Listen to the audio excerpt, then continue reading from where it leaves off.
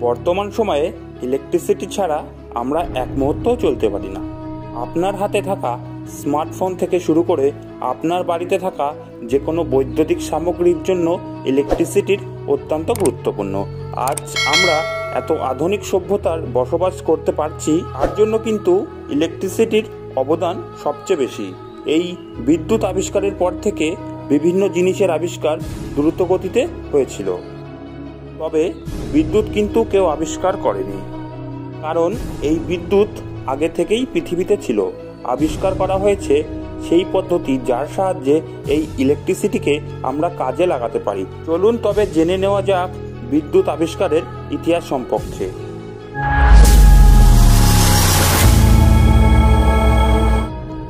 পৃথিবীতে কোনো কিছুর আবিষ্কার একদিনে হয়নি।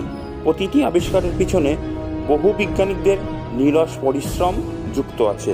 তেমনি ইলেকট্রিসিটি আবিষ্কারের চেষ্টা কয়েক হাজার বছর আগে থেকেই শুরু হয়ে গেছিল।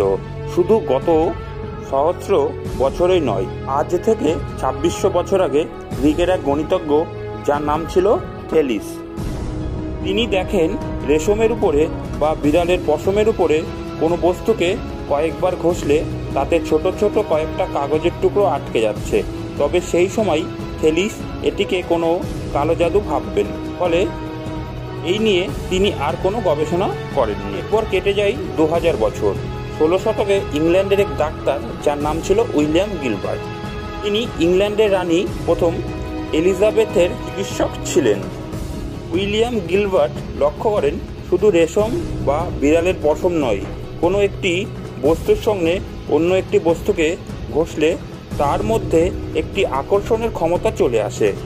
যেমন ধরুন, একটি কলম যদি আপনার চুলে বারবার ঘষা হয় এবং তারপর সেটি কয়েকটি ছোট কাগজের টুকরোর কাছে নিয়ে যাওয়া হয়, তাহলে সেই কাগজের টুকরোগুলি কলমের সঙ্গে আটকে যায়। তখন উইলিয়াম গিলবার্ট এই শক্তির নাম রাখেন ইলেকট্রিসিটি।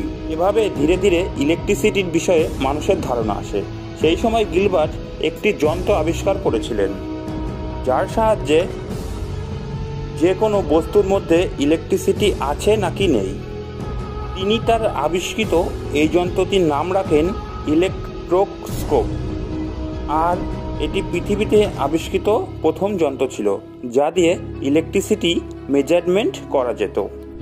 উইলিয়াম গিলবার্টের পর বহু বিজ্ঞানী ইলেকট্রিসিটির উপর কাজ করছিলেন, কিন্তু তেমন একটা সফলতা আসেনি। আঠারোশো শতকে আমেরিকার একজন মহান বিজ্ঞানী, বেঞ্জামিন ফ্রাঙ্কলিন ইলেকট্রিসিটি নিয়ে গবেষণা শুরু করেন। বেঞ্জামিন একটা সময়ে তার সমস্ত সম্পত্তি বিক্রি করে ইলেকট্রিসিটি নিয়ে গবেষণা শুরু করেছিলেন। সতেরোশো বাহান্ন সালে জুন মাসে একটি বৃষ্টির দিনে যখন আকাশে বিদ্যুৎ চমকাচ্ছিল, সেই সময় বেঞ্জামিন একটি ঘুড়ি ওড়ান। তিনি সেই ঘুড়ির সুতোর সঙ্গে একটি লোহার চাবি বেঁধে দেন। সেই সময় একটি বিদ্যুৎ তার ঘুড়ির উপরে এসে পড়ে। এবং সেখানে থেকে ইলেকট্রিসিটি সুতোর মাধ্যমে প্রথমে লোহার চাবিতে আসে এবং তারপর বেঞ্জামিনের হাত পর্যন্ত পৌঁছায়। আর এভাবেই বেঞ্জামিন ফ্রাঙ্কলিন হয়ে যান ইলেকট্রিসিটির আবিষ্কর্তা। বেঞ্জামিন ফ্রাঙ্কলিন ইলেকট্রিসিটি আবিষ্কার করে ফেললেও এই ইলেকট্রিসিটিকে কাজে লাগানোর পদ্ধতি তখনও আবিষ্কার হয়নি। এরপর সতেরোশো একানব্বই সালে দুই বিজ্ঞানী আলেসান্দ্রো ভোল্টা এবং লুইগি গ্যালভানি একটি পরীক্ষা করেন। সেখানে একটি মৃত ব্যাঙের দুইটি পায়ে দুইটি আলাদা ধাতু সংস্পর্শ করতেই সেই মৃত পা দুটি নড়ে ওঠে। তখন লুইগি গ্যালভানি এর নাম রাখেন অ্যানিম্যাল ইলেকট্রিসিটি। তবে তার বন্ধু আলেসান্দ্রো ভোল্টা এই বিষয়ে সহমত ছিলেন না। তিনি বলেন এটি ওই দুটি আলাদা ধাতুর কারণে হয়েছে। তাই একে মেটাল ইলেকট্রিসিটি বলা উচিত। এরপর সতেরোশো বিরানব্বই সালে আলেসান্দ্রো ভোল্টা একা একটি গবেষণা করেন এবং আঠেরোশো সাতান্ন সালে তিনি পৃথিবীর প্রথম ব্যাটারি আবিষ্কার করেন। তিনি কয়েকটি আলাদা আলাদা ধাতুর ব্যবহার করে এই ব্যাটারিটি তৈরি করেছিলেন। আলেসান্দ্রো ভোল্টা, জিঙ্ক এবং কপারের কতগুলি ধাতু ও পাত্তলকে সোডিয়াম হাইড্রক্সাইডে মিশিয়ে এই ব্যাটারি আবিষ্কার করেছিলেন। আলেসান্দ্রোর ভোল্টার এই আবিষ্কারের পর ইলেকট্রিসিটি নিয়ে গবেষণার দ্রুতগতিতে এগোতে থাকে, কারণ এর আগে ইলেকট্রিসিটির এই নির্দিষ্ট সোর্স পাওয়া সম্ভব ছিল না। ভোল্টার আবিষ্কৃত এই ব্যাটারি থেকে পাওয়া ইলেকট্রিসিটিকে ডিসি কারেন্ট বলা হতো। এরপর আঠেরোশো কুড়ি সালে এক বিজ্ঞানী তার গবেষণা লক্ষ্য করে যখন একটি ধাতব ও তারের মধ্যে দিয়ে ইলেকট্রিসিটি যায়, তখন সেই তারের আশেপাশে একটি চৌম্বকীয় শক্তি তৈরি হয়। এই ঘটনার এক বছর পর আঠেরোশো একুশ সালে বিজ্ঞানী মাইকেল ফ্যারারে এই চৌম্বকীয় শক্তির উপর কাজ করে একটি মোটর আবিষ্কার করেন, যা ডিসি মোটর নামে পরিচিত। তবে এখনও পর্যন্ত ইলেকট্রিসিটি শুধুমাত্র একটি গবেষণা বিষয় হিসেবে সীমিত ছিল। এরপর আঠেরোশো উনআশি সালে আমেরিকান বিখ্যাত বিজ্ঞানী টমাস আলভা এডিসন একটি ইলেকট্রিসিটি বাল্বের আবিষ্কার করেন আর এর সঙ্গে সঙ্গে সাধারণ মানুষের ইলেকট্রিসিটির ব্যবহার শুরু করিয়ে দেয়। এই সময় এডিসন একটি ইলেকট্রিসিটির তৈরি করার কোম্পানি খোলেন এবং সেখানে তিনি ডিসি জেনারেটর ব্যবহার করতেন। তবে এই ডিসি জেনারেটর একটি সমস্যা ছিল। এর সাহায্যে উৎপন্ন হওয়া ইলেকট্রিসিটি ধাতব ও তারের সাহায্যে দুই থেকে তিন কিলোমিটার পর্যন্ত, দূরত্ব পর্যন্ত নিয়ে যাওয়া সম্ভব ছিল না।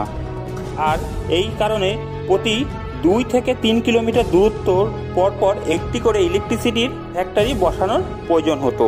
সেই সময় এডিশনের কোম্পানিতে আরেকজন বিজ্ঞানী কাজ করতেন, যার নাম নিকোলাস টেসলা।